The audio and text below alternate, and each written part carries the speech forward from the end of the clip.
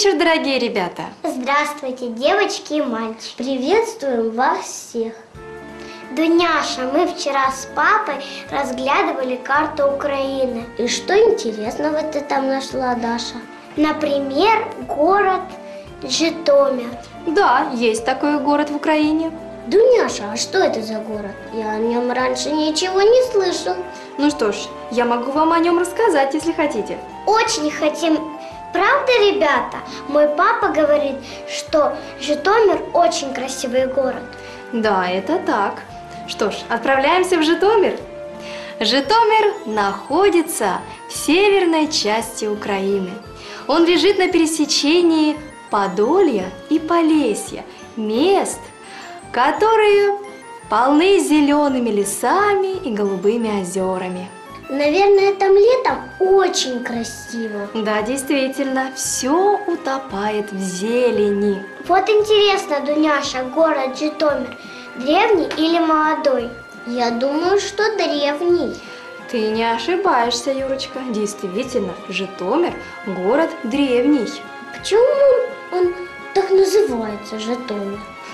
О названии города рассказывают легенды, ребята. У первых киевских князей Аскольда и Дира был дружинник по имени Житомир. Он не согласился служить врагам князей и спрятался в лесу, поселился там, где сливаются реки Каменка и Тетерев. Именем дружинника Житомира и назван город. Это одна легенда рассказывает, а есть и другая. Согласно этой легенде, рассказывается, что местные жители с давних пор торговали хлебом и жили мирно. Потому и говорили о городе «Мир и жито», «Мир житичей».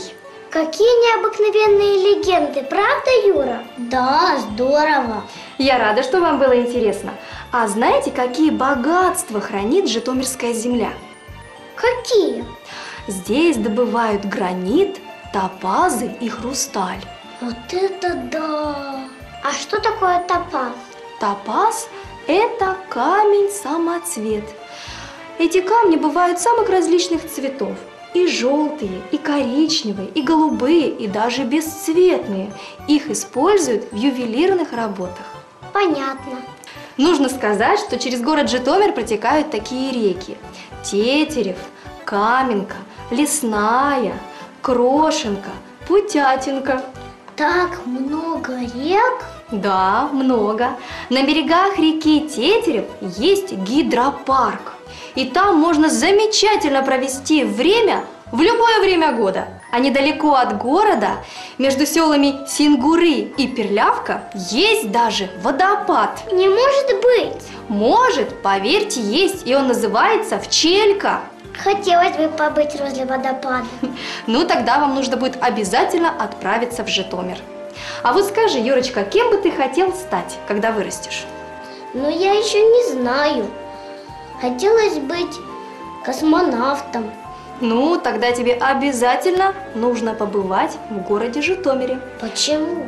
А потому что там есть музей космонавтики. В Украине не случайно музей космонавтики открыт именно в Житомире.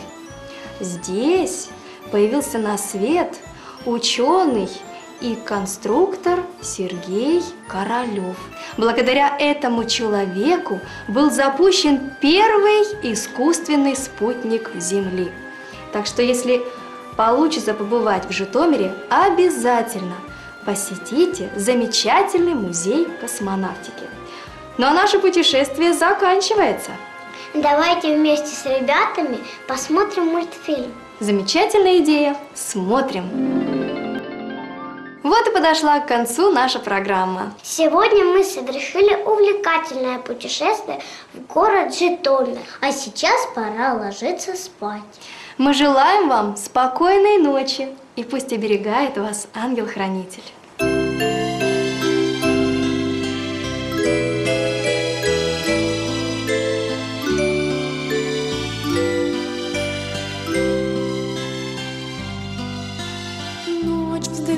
it's love.